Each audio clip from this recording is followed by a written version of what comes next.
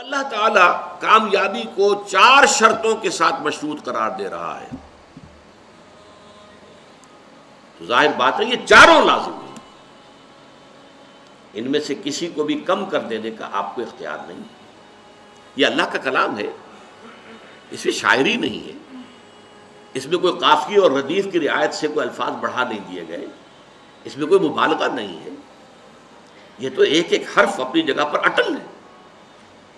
वलसर इंदल इंसान लफ़ी खुसरीन आमन वामिल सालहात व तवासो बिलहक व तवासो बिसब ये चारों चीज़ें लाजिम इसको यूँ समझिए कि अगर कोई मुआलिज आपका, आप गए हैं, आपने नफ्स दिखाई है, ये जो भी अपना तशीस हुई है, अब नुस्खा लिखा गया है, उसमें चार दवाइयाँ लिख दी गई।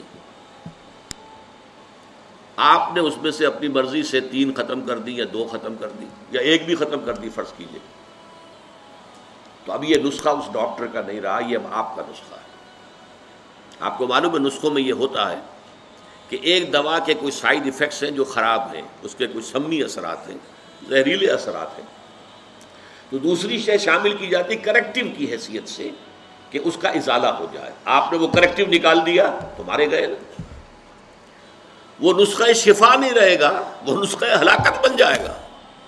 आप उसमें से किसी भी शय को साकित करने का हक नहीं रखते, बल्कि उसके अंदर तबाही और बर्बादी आ जाए।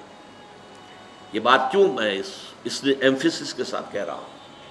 आप अगर जायज़ा लेंगे तो मालूम होगा कि हमारी अजीम अक्सरियत, महज ईमान की बुनियाद पर कामयाबी और निजात और फौज व फलाह की सद फ़ीसद उम्मीदवार बनकर बैठी हुई है।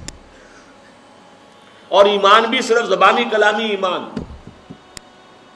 और अगर अमल साले को थोड़ा बहुत हो गया, नमाज़, रोज़ा हो गया तो तो क्या कहने साहब? उसके बाद तो ज़ाहिर बात है कि कोई सवाल ही पैदा नहीं होता कि हमारा कई मामला जो है नाकामी का हो जाए। तवासी बिल का तवासी भी सब्र तक तो किसी के पहुँचने का सवाल ही नहीं। हमारे जहनों से खारिज है। ये भलाई की तबलीग करना ये मौलवियों का काम है। हमारा काम तो नहीं। ये हमारे तस्वुरात हैं।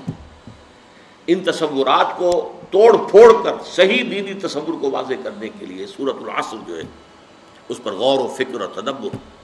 याद कीजिए, जो मैंने पिछली नशस्त में आपको अखबाल सुनाए थे इमाम शाफी के।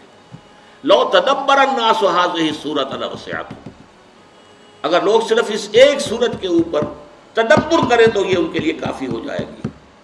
लौलम युनजर मिन कुरान सिवाहा लकफ़त नास